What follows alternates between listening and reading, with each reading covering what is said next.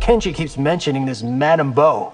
Words cannot do her justice. You must meet her.